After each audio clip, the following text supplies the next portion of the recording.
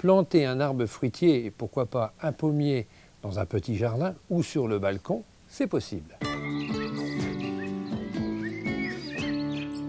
Pour ça, j'ai choisi de planter un arbre renin, un ballerina. En fait, il s'agit d'un pommier qui est à la fois décoratif pour ses fleurs et bien entendu, puisqu'il s'agit d'un pommier, nous allons pouvoir récolter des pommes dès la première année. Il a la particularité aussi de pousser en colonne. Comme tout arbre cultivé en conteneur, nous allons le tremper, la motte, avant la plantation. On va attendre qu'il n'y ait plus de bulles avant de le dépoter.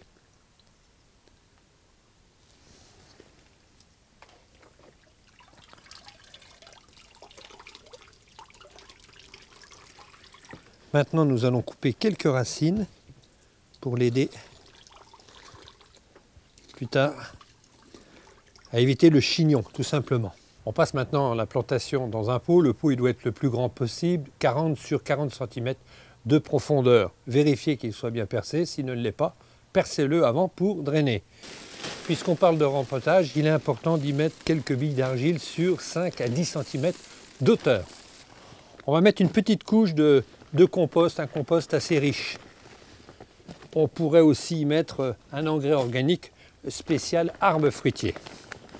Une fois qu'on a mis notre, notre compost, hein, qui est relativement assez riche, eh bien on va pouvoir y mettre notre terreau.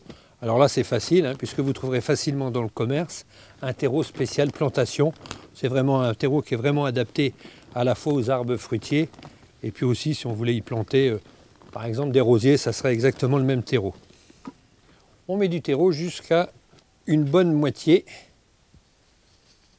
de façon à pouvoir mettre, de positionner notre arbre fruitier. La greffe, comme tout arbre fruitier, doit rester au niveau du sol et jamais, ne, jamais l'enterrer.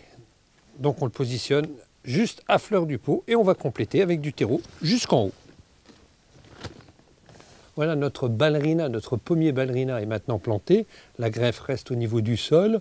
Souvenez-vous, on l'a planté dans un, dans un pot percé des billes d'argile sur 5 à 10 cm d'auteur, 5 à 6 cm aussi de compost par-dessus pour nourrir la plante ou un engrais organique pour nourrir le pommier par la suite, complété avec du terreau.